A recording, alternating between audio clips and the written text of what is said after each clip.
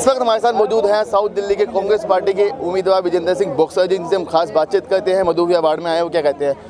Sir, boxing में तो आपने बहुत खिताब जीत लिए चुनावी कोई क्या, कैसे कहना चाहिए चुनावी अभी ऑलमोस्ट हमारी कैंपेनिंग थी ख़त्म हो चुकी है और बहुत सारी समस्याएँ हैं इस क्षेत्र की, जो आम आदमी पार्टी ने बड़े बड़े वादे किए थे, जो बीजेपी सरकार ने बड़े बड़े वादे किए थे, वो पूरे नहीं किए हैं। तो गुस्सा है लोगों में। तो बदलाव चाहते हैं और एक राहुल जी के एक बड़ा अच्छा एक जो कैंपेन शुरू की थी कि अब होगा न्याय तो अब होगा न्याय। पाँच मिनट का वक्त बचा है प्रचार खत्म होने में। तो किस तरह तैयारी कांग्रेस की है? तैयारी कांग्रेस पूरी तरह तैयार है लोग पूरी तरह तैयार हैं। और अभी एक हमारे मदन मोहन लाल जी ने बोला था कि एक साइलेंट वेव है। तो साइलेंट वेव आप थोड़ी देर वेट कीजिए तेईस के नतीजे होंगे बहुत चौंकाने वाले होंगे और जो कांग्रेस के पक्ष में होंगे। आपके सामने दो चुनौती है एक आम आदमी पार्टी से राघव चड्डा है तो वहीं दूसरी ओर मौजूदा सांसद अमित भिजोड़ी है। तो क्या लगता है जी।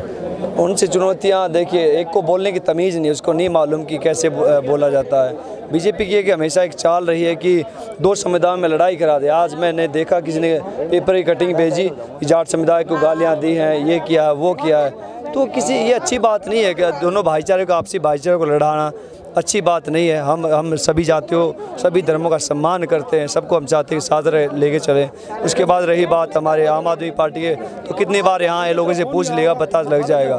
तो यहाँ नहीं आते वो, उनकी एक हाई क्लास है हाई क्लास में वो रहते हैं, वो दूर से कहते हैं, वो इंटरव्यूज़ देते हैं, अच्छी बात है।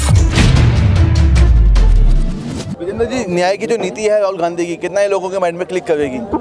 जी बहुत लोग बहुत जो गरीब लोग हैं जो मजदूर लोग हैं जो किसान लोग हो बड़े एक्साइटेड हैं। चाहे किसान के लिए स्पेशल बजट हो चाहे बहत्तर हज़ार रुपये हर सालाना एक गरीब आदमी को मिलते हो चाहे महिलाओं की बात हो तैंतीस प्रतिशत रिजर्वेशन की बात हो और रही बात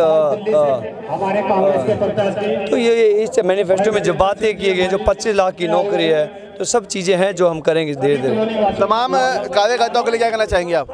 तमाम कार्यकर्ताओं के लिए क्या कहना चाहेंगे आप? जी कार्यकर्ता ने भी वोटर्स का टाइम है तो वोट करें और दिल खोल के वोट करें कांग्रेस के लिए।